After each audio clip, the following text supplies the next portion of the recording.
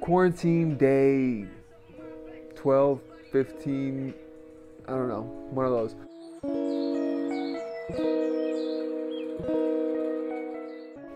At this point, it's pretty much certain that we're probably not going to be going out for at least two, three more weeks. So, with that being said, I know a lot of you guys are going to have to find ways how to stay fit, how to just keep your body moving and just keep yourself going. Being in a wheelchair, especially being a quad. So, you're gonna have to find ways to work out from home, and I'm here to show you how. Now, being a quad, like I said, you gotta find out ways to keep your body moving, and that's what we're gonna do now.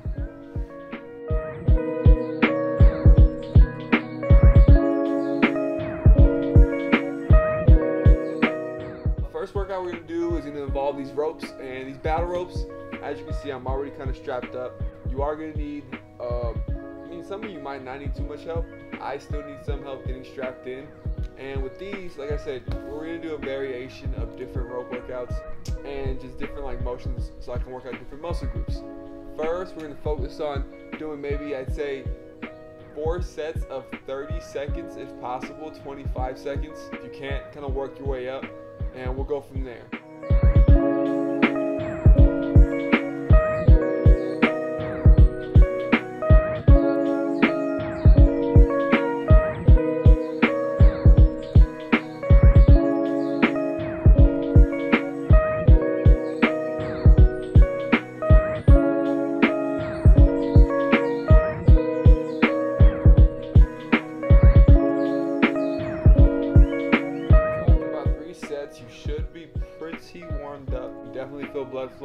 Throughout your arms and all throughout your chest and stomach as well too. Believe it or not, when you're doing things like this, you have to keep yourself kind of steady and in place. So it does work a little bit of your abs and your core as well too. Now we're gonna switch off to single hands and we're gonna do the same exact thing. You can either do them like this, which is opposite, or you can just do them all the way through with these, however, especially for like my C6 quads and above, I want you to try as best as you can keep your arm straight. To keep your arm straight on this and you pull down, you're going to work more of that tricep region as compared to working more of your bicep when you're pulling. Same thing, 20 seconds, let's get a couple rounds in so I can show you guys what we're talking about.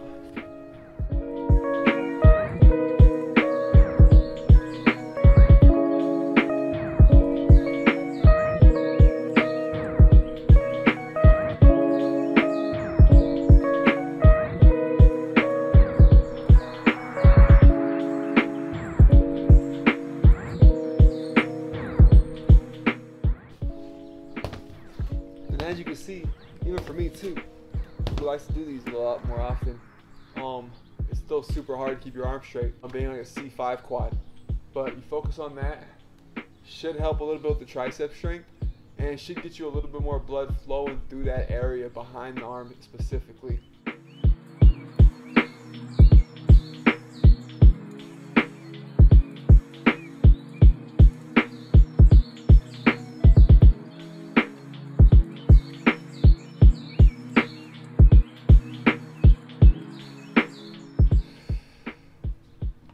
Guys, almost there. You're about six sets in. You're about six sets in right now. Should be feeling pretty good. Blood should be pumping all throughout your body right now. And it's pretty easy to focus, I think, at this point into the workout because everything's kind of moving. Initially, when you start up, being in a wheelchair especially, it's terribly, terribly hard to get everything just going.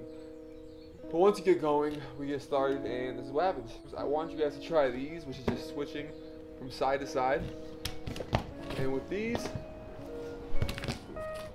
terrible one. Try to pull your arms out as much as you can.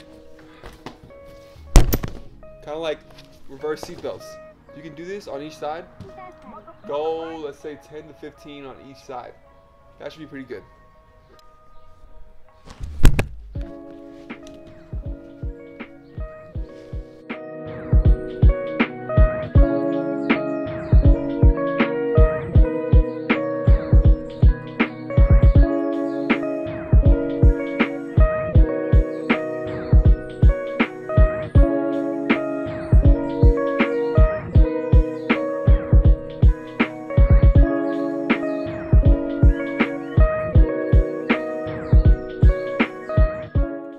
So you got a couple ropes in. Blood should be pumping. Like I said, that's the key is getting your blood pumping. Now we're gonna work on pulling and getting a lot of these lateral movements going where you're using a lot more of your back and your biceps. So first we're gonna work on pulling at a at a rate that you can get at least 12 reps in. Anywhere between 12 to 16. That's what we aim for, but definitely at least 12. Now go ahead and pull back a little bit. And you should have somebody helping you. Now with these, all you're doing is pulling in and out.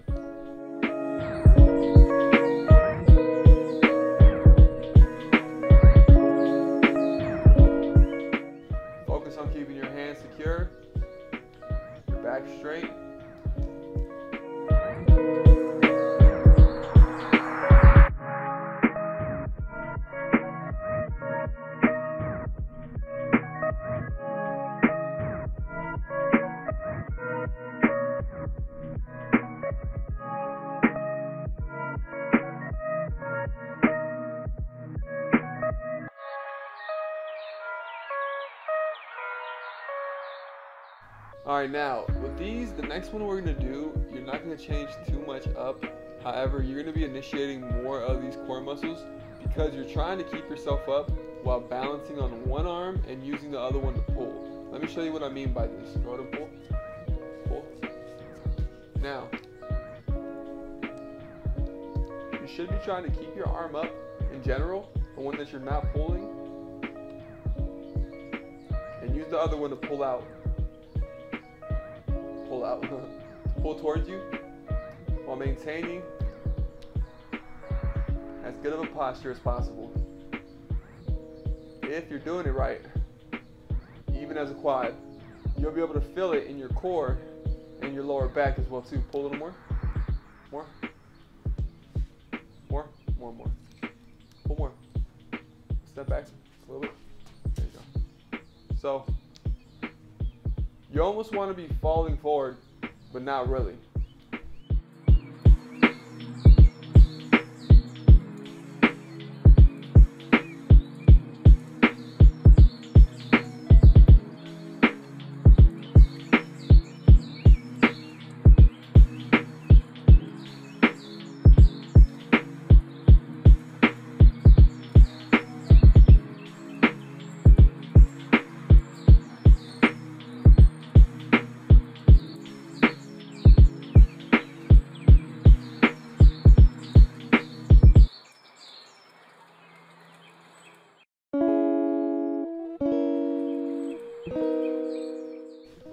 This point, arms should feel kind of like cinder blocks are sitting on top of them, but it's good. It's a good way to get everything going.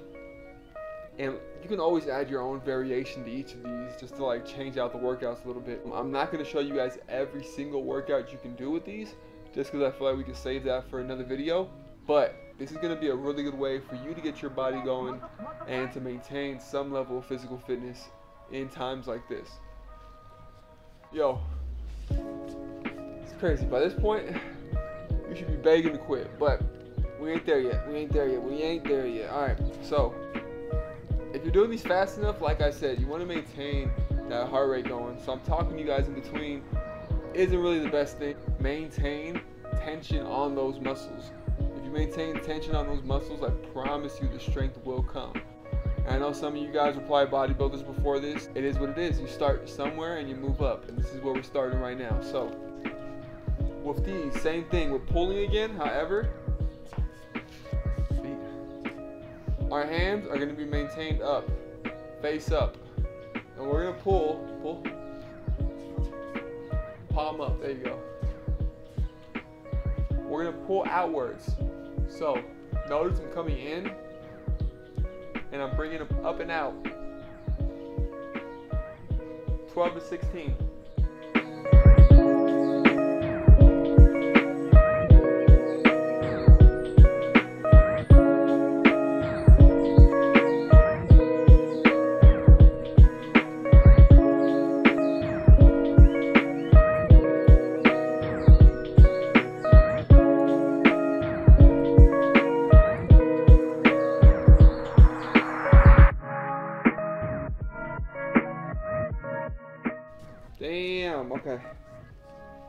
Talking in between everything is so much harder.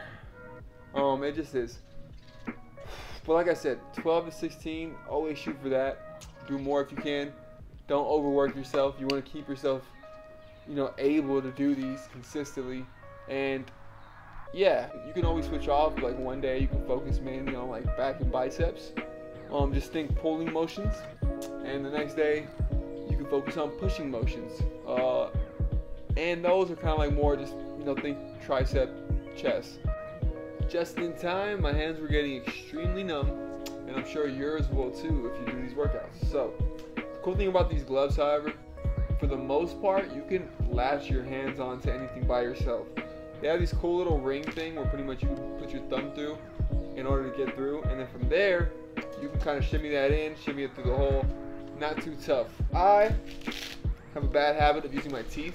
Probably pretty unsanitary, but is what it is yeah, so these are pretty much your best friend as far as coming, as far as when it comes to like doing workouts and whatnot. You're gonna really want some gloves just like this because they're gonna be your lifesaver, and they're gonna allow you to do those pulling and pushing motions that you would otherwise not be able to do. All right, so we're done with bands. We're done with the ropes. That should be at least I would say six good workouts to get you going. Now there's plenty more we can go over those in a couple of videos. Let me know down below if you guys want me to go over some of those, especially like chest and tricep workouts specifically. I know a lot of my quads, I know a lot of you guys want some of those. So let me know and I'll be happy to make those for you. So yeah, getting back to this, these medicine balls, I'm gonna use today the two, the four, and the seven. And what we're gonna do is with the two pound, we're gonna go ahead and we are going to just throw the ball while attempting to keep our body straight and not get hit in the face. That's ultimately the goal. So, with that being said, like I said, you don't want to lean forward like this. Try to bring the ball wherever you can. Do my, my um, old school waiter technique. And from there, you kind of just throw the ball. So kind of watch this motion. There you go. And as fast as possible, as hard as possible,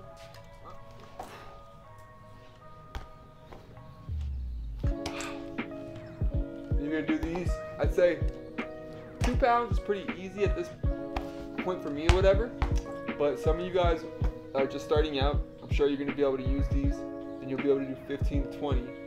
Shoot for 10 at first and go from there.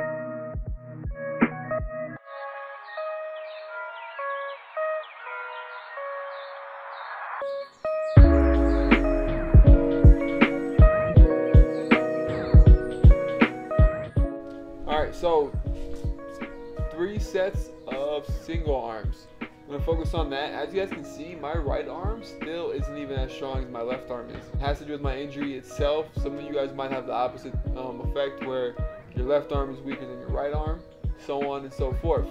It all varies, um, especially with like spinal cord injuries. But you want to focus on doing those individual just so you can kind of build on both those arms individually. Three sets of those singles should work, and then you want to do, this is the four pound now, we're gonna do the same thing, We're gonna do one set of this four, and then we're gonna jump up to that seven pound, and we're gonna do another set of seven. Ready, to go.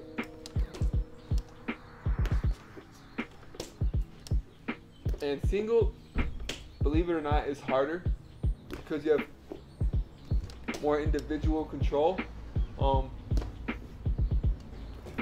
want to try to keep yourself back, keep your head back as much as you can, shoulders down, and not get hit in the face or the chest. That's also key. So, work at your own pace. Go.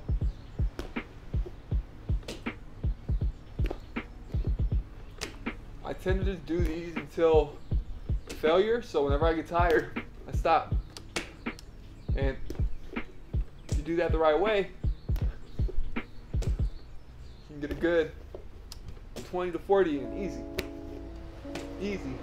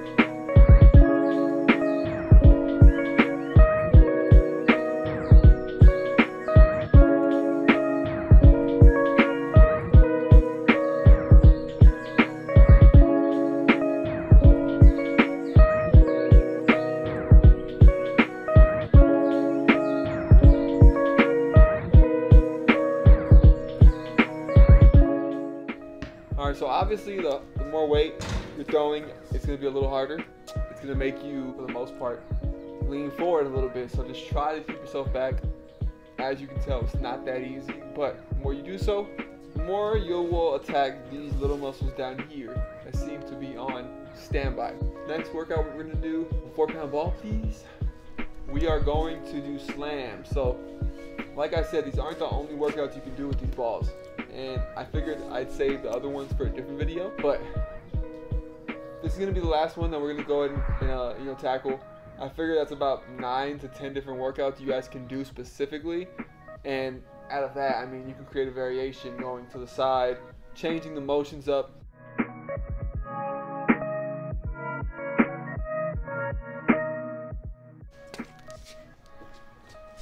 Uh, with these, it will be a little harder, so you might need to be slouching a little more in your chair. Try not to, you know, tackle those muscle groups in your core that are gonna pretty much keep you sitting up.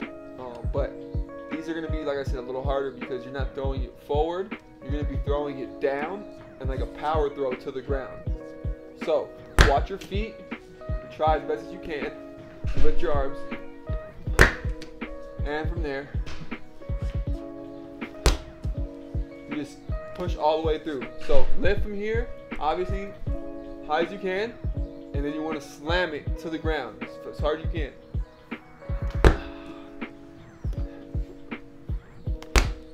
Try not to tilt back.